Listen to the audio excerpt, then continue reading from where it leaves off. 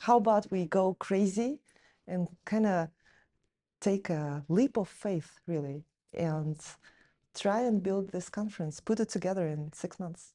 It's all Irina's vision. Like she knew what the conference was supposed to look like in her mind.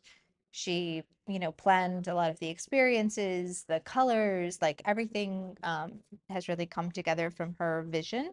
I wanted to connect very passionate Ruby developers and authors of open source with uh, startup founders that are here in San Francisco building with Ruby so that we could build better ecosystem together.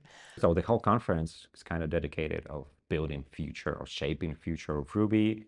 Ruby is best for ambitious startups that are not just building once, they are iterating, they're changing their their offering, their product, they are looking for new audience.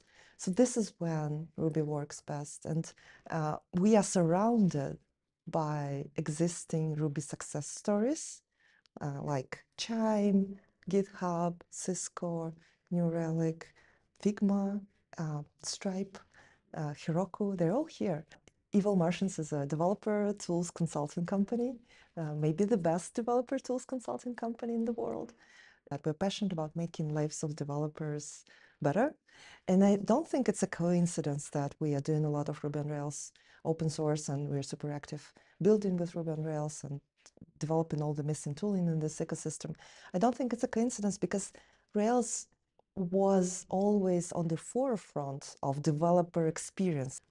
Uh, our mission is to support those founders and this whole industry, really. And I think we're playing a certain role there.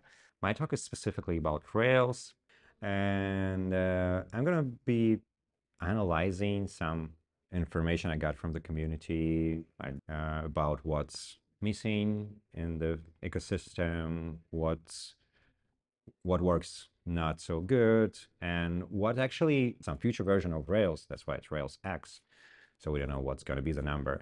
Uh, what it should be to still provide this promise of developer productivity. Every software everything actually, every tool must evolve to solve the problems that will happen tomorrow. It was a big project that started from scratch yesterday Yeah. and built it to the uh, whole community hanging around, talking, speaking.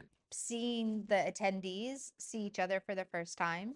Um, and a lot of times, you know, they know each other from another conference. And so Mhm. it feels like we're creating kind of a Ruby reunion for people and you see them like hug talk about you know oh i i missed this conference but i saw your talk online and um like watching them interact seeing the community together i think has been Yeah. my favorite part? Yeah